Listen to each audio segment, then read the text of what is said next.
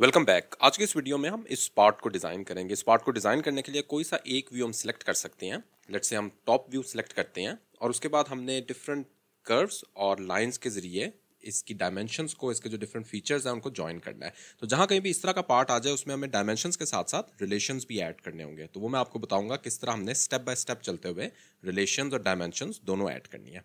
इस पार्ट की ड्राइंग इन डायमेंशन के अकॉर्डिंग हम इस पार्ट को ड्रॉ करेंगे। तो ये वाली जो हमारे पास, ये वाला जो व्यू है, इसको ड्रॉ करने से हमारे पास मैक्सिमम जो पार्ट है, वो ड्रॉ हो जाएगा। तो ये वाला हम किसी भी प्लेन में ड्रॉ कर सकते हैं राइट फ्रंट टॉप कोई भी हम सिलेक्ट करके, ये वाला जो स्केच है, इसको ड्रॉ करेंगे और फिर उसको डिफरेंट लेवल्स पे एक्सट्रूट करेंगे। मैं एक ही स्केच ड्रॉ करूँगा और उसी को एक्सट्रूट करेंगे, हम बाद में स्टेप बाय स्टेप तो स्टार्ट करते हैं इसको फ़ाइल न्यू पार्ट डिज़ाइन में जाते हैं और अपना रिक्वायर्ड प्लेन कोई सा प्लेन सिलेक्ट कर सकते हैं। लेट्स सपोज़ मैं यहाँ पे टॉप प्लेन सिलेक्ट कर लेता हूँ। टॉप प्लेन को सिलेक्ट करेंगे और यहाँ पे स्केच में जाएँगे।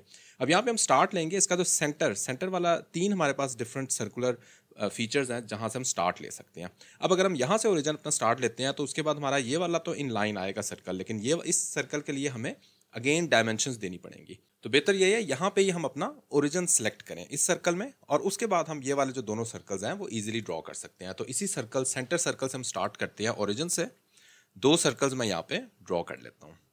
सिमिलरली इसी के इन लाइन यहाँ पे मैं दो सर्कल्स ड्रॉ कर लेता हूँ, और इसी के ऊपर मैं यहाँ पे मजीद दो सर्कल्स ड्रॉ कर लेता हूँ। इन सर्कल्स को रिक्वायर्ड डायमेंशन भी दे देते हैं। अभी से ही हम साथ साथ डायमेंशन भी देते जाते हैं। सो ट्वेंटी टू और फोर्टी फोर हमारे पास इनकी डायमेंशन है।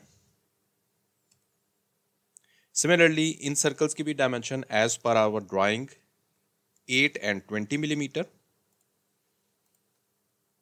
और सिमिलरली जो ऊपर वाले सर्कल्स हैं, उनकी भी हम डायमेंशन दे देते हैं। उसके बाद फिर हम रिलेशन और डायमेंशन कुछ और ऐड करते हैं।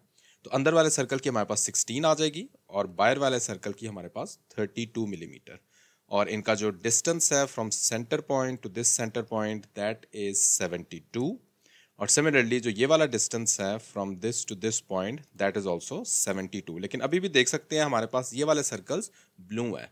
इसकी क्या रीज़न हो सकती है? क्योंकि हमें एक रिलेशन ऐड करना है। रिलेशन कौन सा ऐड करना है? अगर इसी को हम थोड़ा सा ड्रैग करते हैं तो हमें पता लग जाएगा क्यों हमारे पास ये अभी तक ब्लू है। ये अभी भी मूव कर सकता है। तो इसका मतलब है एक हॉरिजॉन्टल रिलेशन मिसिंग है। तो ये वाला पॉइंट सेलेक्ट करना है। कंट्रोल प्रेस करना है और ओरिजिन को सिलेक्ट कर लेना है।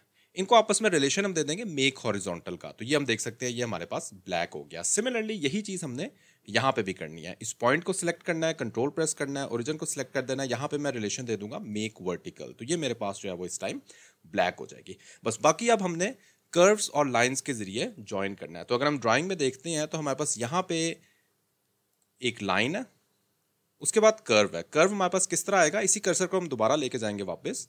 तो अब की बार हमारे पास कर्व सेलेक्ट होगा। अगेन मेरे पास लाइन आ गई है। दोबारा मैं इसको वापस लेके जाऊँगा। तो मेरे पास कर्व सेलेक्ट होगा। तो ये वाला कर्व जो है मैं ऑलमोस्ट इस पॉइंट पे लाके क्लिक कर देता हूँ।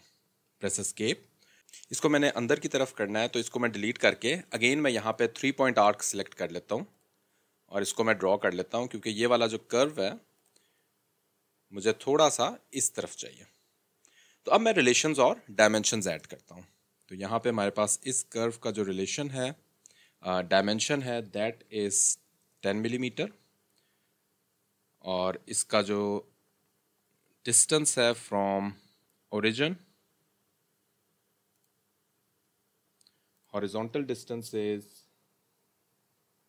29.19 millimetre और वर्टिकल डिस्टेंस इसका इस पॉइंट से इस पॉइंट तक का वर्टिकल डिस्टेंस मेरे पास 34.93 मिलीमीटर है। ओके ये मेरे पास जो है वो इस टाइम डिफाइन हो चुका है इसका डिस्टेंस अगेन हम नेक्स्ट कर्व की तरफ़ जाते हैं। और यहाँ पे हमने 100 मिलीमीटर डिफाइन करना है। और एक और चीज़ मैं यहाँ पे बताता जाऊँ, मेरे यहाँ पे बेसिकली कंप्लीट ब्लैक हो गया। अगर आप ड्रॉ कर रहे हैं और आपके कोई भी एक लाइन ब्लू है तो उसका क्या मतलब है कि आपका कोई रिलेशन ऐड नहीं हुआ। मैंने जब यहाँ पे ऑटोमेटिकली ड्रॉ किया था इसका कर्व तो यहाँ पे ऑटोमेटिक रिलेशन डिफाइन हो चुके हैं। यहाँ पे नहीं हुआ तो यहाँ पे हम किस तरह देंगे? इसको क्लिक करना है और इसको टेंजेंट कर देना है। सिमिलरली अगर यहाँ पे आपका नहीं हुआ तो यहाँ पे क्लिक करके टेंजेंट दे दें। सिमिलरली यही चीज़ मैंने यहाँ पे करनी है। कर्व कंट्रोल प्रेस किया हुआ है और सर्कल सेलेक्ट करेंगे, इनको भी कर देंगे मेक टेंजेंट तो ये मेरे पास इस टाइम सारे के सारी लाइंस ब्लैक हो चुकी हैं। नेक्स्ट दोबारा आते हैं थ्री पॉइंट आर्क और ये दो पॉइंट सेलेक्ट करेंगे, और इनको भी रिलेशन दे देते हैं स्मार्ट डायमेंशन और स्मार्ट डायमेंशन से हमारे पास जो रेडियस है दैट इज़ फोर्टी फाइव और अगेन मैं इनको भी रिलेशन दे दूँगा। ये वाले दोनों कर्व सेलेक्ट करेंगे मेक टेंजेंट सिमिलरली ये वाले दोनों कर्व सेलेक्ट करेंगे एंड मेक टेंजेंट तो ये भी मेरे पास ब्लैक हो चुकी है. फाइनली लाइन कमांड और इन दोनों पॉइंट्स को हमने टेंजेंट रिलेशन के साथ ज्वाइन करना है. यहाँ पे मैं लेके आऊँगा टेंजेंट रिलेशन ऑटोमेटिकली दिया जाएगा. ये मेरे पास ब्लैक हो गई. अब मेरे पास स्केच इस टाइम कंप्लीटली डिफाइन है. अब मैंने डिफरेंट लेवल्स पे एक्सट्रूजन देनी है. तो वो भी ज़रा देखें एक्सट्रूजन हम किस तरह दे दे सकते हैं. अगेन हम इसकी अगर ड्राइंग देखते हैं तो हमारे पास जो सेंटर वाला सर्कुलर फीचर है, वो हमारे पास टोटल डायमेंशन उसकी, ये वाली जो कंप्लीट डायमेंशन 38 मिलीमीटर है, वो हमारे पास इसकी डायमेंशन आ रही है 38 मिलीमीटर।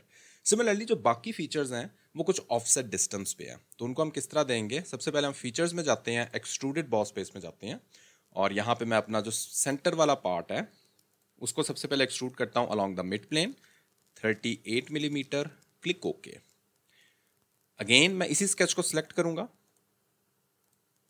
और एक्सट्रूडेड बॉस स्पेस में जाऊँगा और नेक्स्ट फीचर अपना सिलेक्ट करता हूँ। इसको मैंने टोटल जो एक्सट्रूजन देनी है सो दैट इज़ अगर हम ड्राइंग में देखते हैं तो हमारे पास यहाँ पे जो टोटल एक्सट्रूजन मैंने देनी है दैट इज़ 10.5 मिलीमीटर तो 10.5 मिलीमीटर मैं इसको एक्सट्रूजन दूँगा।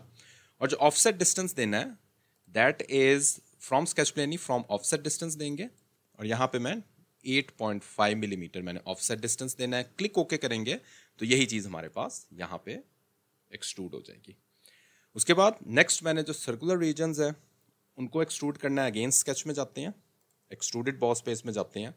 और जो नेक्स्ट मेरे पास ये वाले जो कॉन्टूर्स uh, हैं इनको मैंने एक्सट्रूड करना है। दोनों के एक्सट्रूजन मेरे पास सेम है तो इन दोनों को मैं सिलेक्ट कर लूँगा। ऑफसेट डिस्टेंस हम उतना ही रखेंगे 8.5 मिलीमीटर mm, और साथ में हमने जो एक्सट्रूजन देनी है दैट इज़ 15.5 मिलीमीटर ये वाली अगर हम अगेन ड्राइंग में भी देखते हैं तो हमारे पास 15.5 मिलीमीटर और यहाँ पे ऑफसेट डिस्टेंस हम देने के बाद 15.5 मिलीमीटर हमने इसको एक्सट्रूड करना है तो वो हमने यहाँ पे कर दिया। क्लिक ओके okay करेंगे तो ये वाला फीचर मेरे पास हाफ़ फीचर यहाँ पे ड्रॉ हो गया है। अब इसी तरह, इसी प्रोसीजर को अडॉप्ट करते हुए भी हम ड्रॉ कर सकते हैं दूसरा हाफ़ फीचर लेकिन एक आसान तरीका है कि हम यहाँ पे डायरेक्टली ये वाला जो टॉप प्लेन है, इसको मैं सिलेक्ट करता हूँ। मिरर में जाता हूँ, यहाँ पे required features to mirror select कर लेते हैं।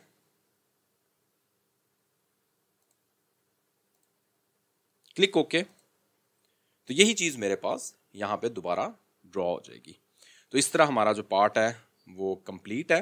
इसको फाइनली हम अपेरेंस भी दे देते हैं। तो यहाँ पे मैं अपेरेंस में जाऊँगा मेटल में जाऊँगा और स्टील की मैं इस टाइम अपेरेंस दे देता हूँ। तो ये सिर्फ़ एक पार्ट को हुआ है। अगेन हम दोबारा देंगे तो हमारे पास टोटल पूरे पार्ट को अपेयरेंस दी जाएगी। तो आई होप आपने देखा होगा इस तरह का पार्ट हम किस, किन स्टेप्स को फॉलो करते हुए हमने ड्रॉ करना है। इसमें हमने रिलेशंस का भी खास ख्याल रखना है, जहाँ पे भी कर्व्स आ जाते हैं। स्टिल अगर कोई क्वेश्चन है तो इसी वीडियो को कमेंट सेक्शन में आप मुझसे पूछ सकते हैं। Thanks for watching this video